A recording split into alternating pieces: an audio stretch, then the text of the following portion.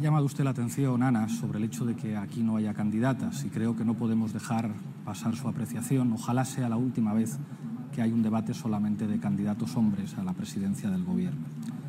Cuando viene una crisis, creo que todos sabemos que quien sufre más esa crisis son las mujeres. Hay algo que le tengo que preguntar al señor Casado. El otro día, en el debate de televisión española, Irene Montero le pidió, por favor, a Cayetana Álvarez de Toledo que se disculpara por haber puesto en cuestión que solo sí es sí. Y estoy convencido que Pablo Casado está de acuerdo con nosotros. Creo que este país no se merece ninguna formación política que cuestione que solo sí es sí.